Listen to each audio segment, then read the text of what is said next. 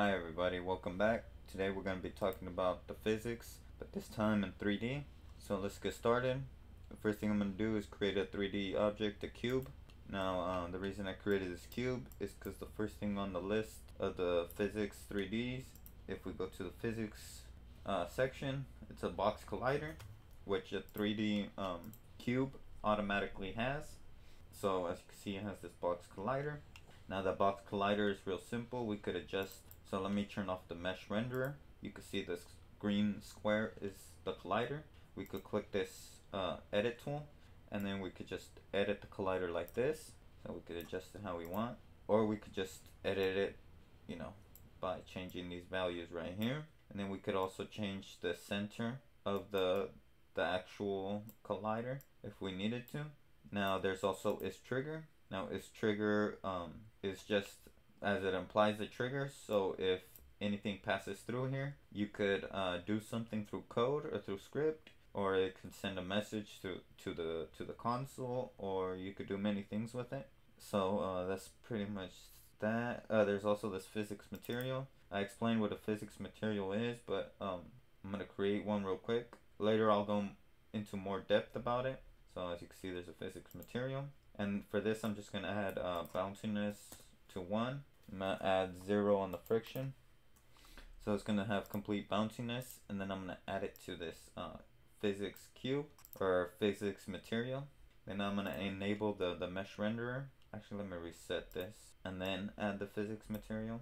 And then I'm gonna uh, higher up the cube, make it a little higher, and then I'm gonna hit play. And now with this physics material, I add bounciness. Well, it's not gonna it's not gonna fall down because we didn't add no uh, actual gravity. So for gravity, we have to add a rigid body.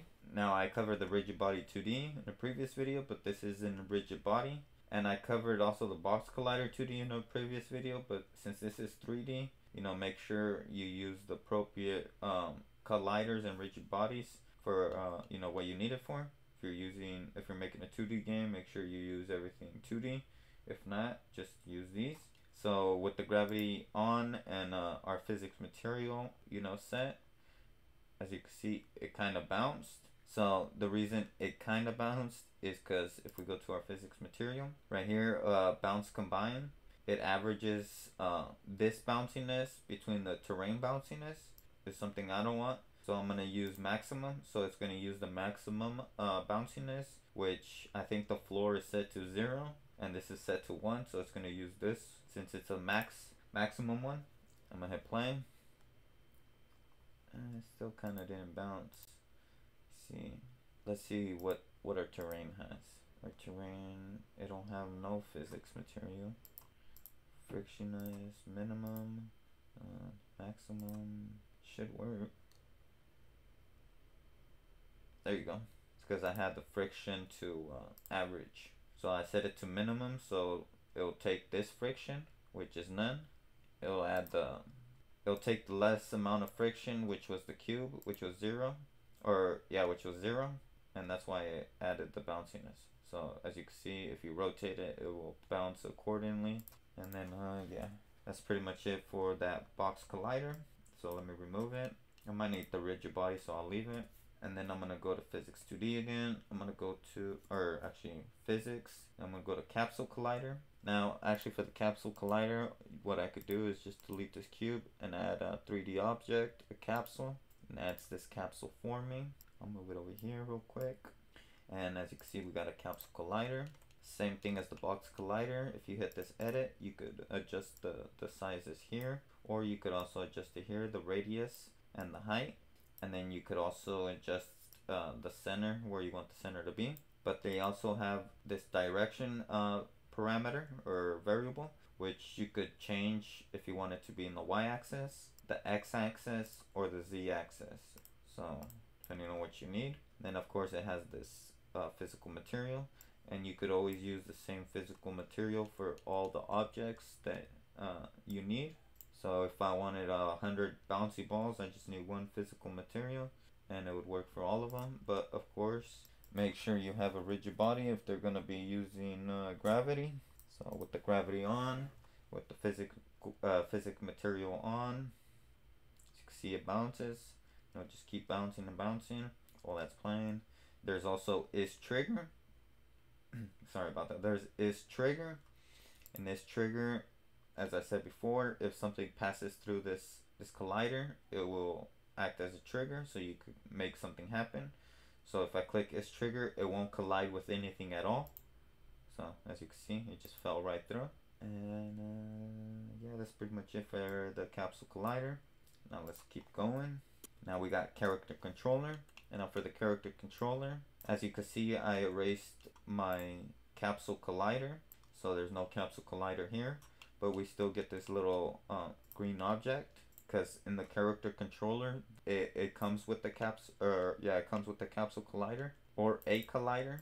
And then, um, so with this character controller, you can have uh, the limit of the slope. So if you want to move only in a 45 degree angle and that would be the limit, you can't go any higher than that. Uh, there's step offset. So uh, let's say you have uh, stairs, you could change the offset.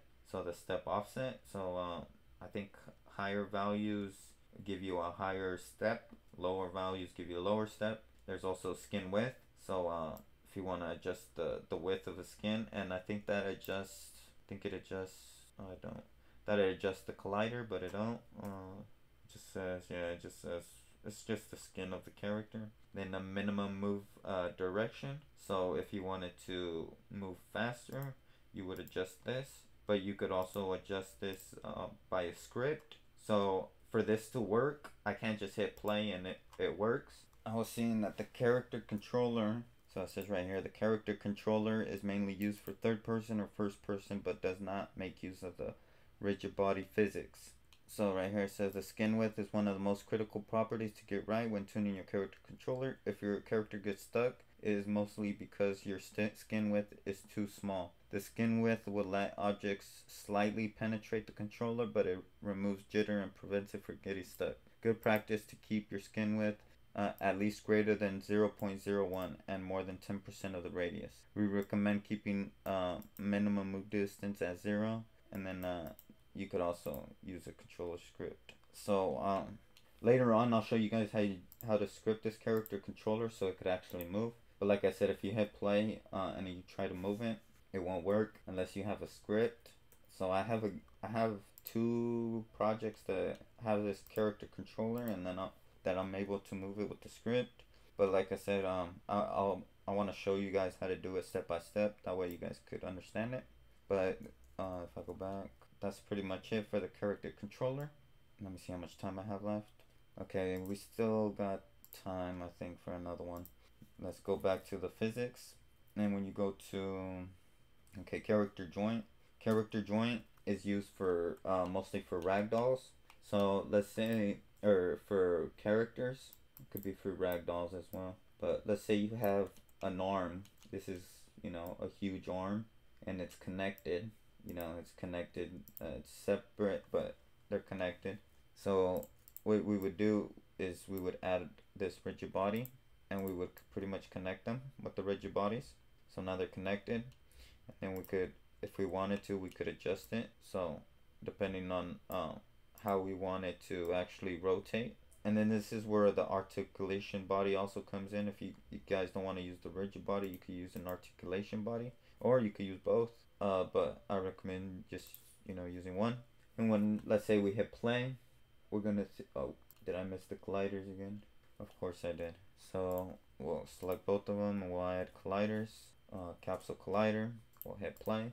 When we hit play, as you can see one bumps into each other and then as you can see they're kind of joint together the reason for that is that only one of them has to have it so say we remove it and we hit play now as you can see it kind of bends as if it was let's say a, a an elbow. So um, let's say I move this now. It comes with it. Oh see if I could grab it. But yeah that's pretty much what that does.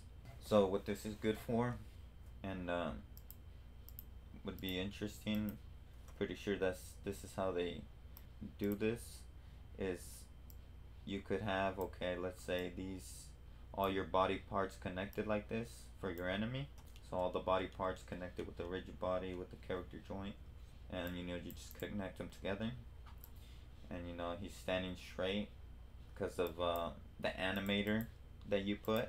So any animation you put on it, and uh, he's standing straight because of that. And then let's say, let's say we add this break force and torque. So when every time, let's say he gets shot with the bullet or with whatever, a water gun, whatever you want, it'll just break right off. So just shoot one of his limbs off, let's say. And that's a way you could do that.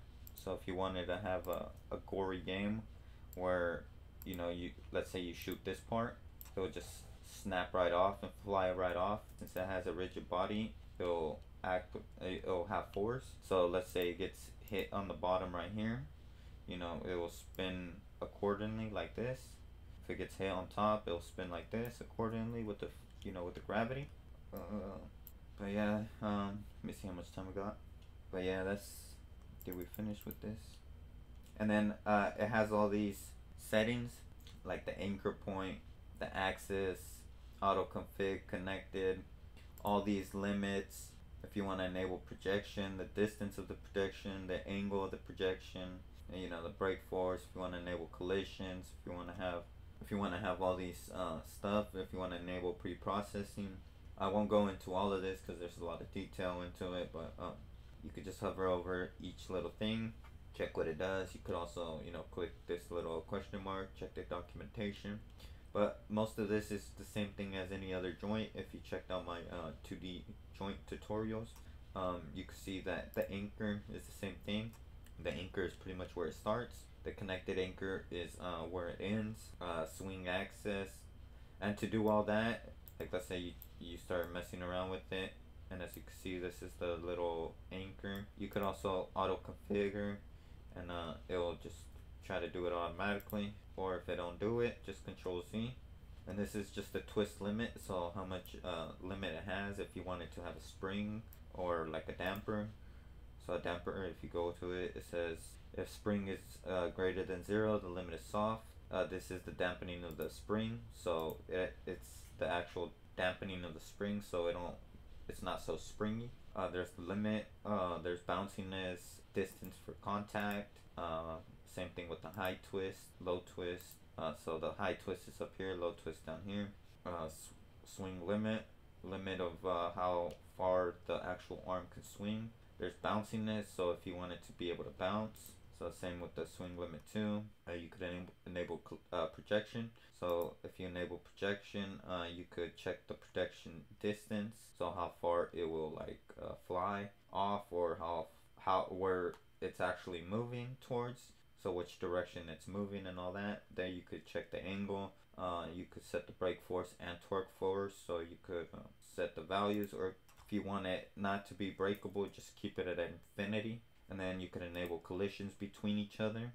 You could also have uh, pre-processing. So it says helps destabilizing impossible to fulfill configurations. So it just helps to fulfill that. And then uh, if you want to adjust the scale of the mass, so if let's say he's a strong dude and uh, let's say his upper arm is stronger than his lower arm, you could change it, you know, here and here. This is the connected one. This is the actual mass itself. And then, uh, yeah, that's pretty much it. Um, in the next video, I'll show you how to do um, cloth, how to make a cloth simula- uh, simulation like drapes or a hammock shirts, anything like that. I'm most likely gonna make some drapes or a hammock, either one.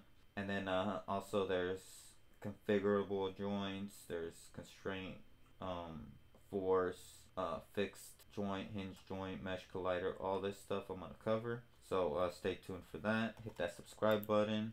Hit that bell uh, notification or icon so you can get notified as soon as they come out. And if you enjoyed this video, if it helped you out in any way, if you liked it, hit that like button. It will really mean a lot to me. Really helps me keep motivated. Same with the subscriptions. Every subscription just motivates me more and more to make more videos like this. So uh, also, I haven't mentioned this in a while. I have a website called uh, robust-games.com. I'll leave uh, a link below.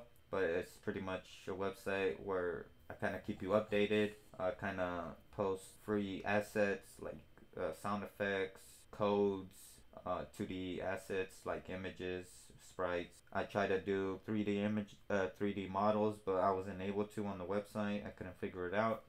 So I might start um, either giving it out on itch.io or um, putting it out on the asset store, maybe selling it. And if you guys, if you guys subscribe, I'll give you guys, uh, you know, free um, assets on Unity. You know, I'll be selling them on the Unity asset store, but of course, uh, I'll give you guys it for free if you guys are subscribed to my website. Just you know, uh, keep uh, watching these videos to keep updated, or you know, subscribe to the website to keep updated as well. Once again, thank you.